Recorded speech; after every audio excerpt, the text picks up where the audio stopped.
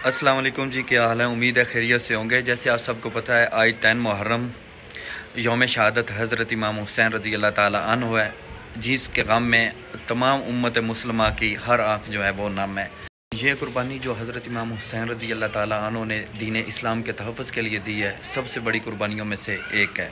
अल्लाह ताला को कुर्बानियाँ बहुत पसंद हैं तो हज़रत इमाम हुसैन रज़ी अल्लाह ताला ने जो कुर्बानी दी है, अल्लाह ताला ने उनको जन्नत का सरदार बनाया है। इसीलिए आज हुसैन जन्नत के और जन्नत हुसैन की।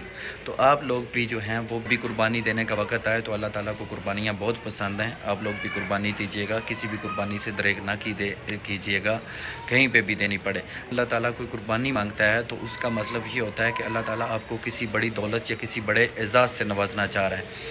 तो बाकी बस आज का मैं अपना शेड्यूल जो है, वो ज़ाहिर कर दूँ कि मैं सुबह उठूँ अपने प्यारे जो इस दुनिया फ़ानी से रुखसत कर गए हैं जी, उनके लिए दुआ मगफरत करने कब्रस्तान में गया हुआ था। और उसके बाद वापस आया हूँ तो चावल तकसीम किए हैं, ख़त्म दिलवाया, चावल तकसीम किए हैं। उसके बाद थोड़ा सो गया था, सो के अभी उठा हूँ। तो अभी फिर नमाज़ वगैरह पढ़ते हैं तो अपने रूटीन वाइज जो काम है वो करते हैं। तो थोड़ा मज़ीद कुछ मतलब कुरान खानी करेंगे।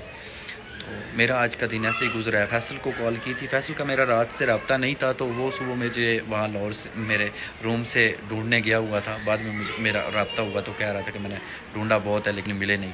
आलम ड्यूटी पे आया तो इन हम लोग मंडे को एक ही जगह पे मिलने वाले हैं और इन तकरीबन लाहौर पुलिस और सियालकोट के जितने भी हमारे वलीद बली लोग हैं सारे इंशाल्लाह एक ही प्लेटफॉर्म पे जमा होंगे और एक आप लोगों के लिए बेहतरीन वीडियो जो है वो अपलोड करेंगे अच्छा से वो लोग। बाकी जी अपनी दुआओं में याद रखिएगा।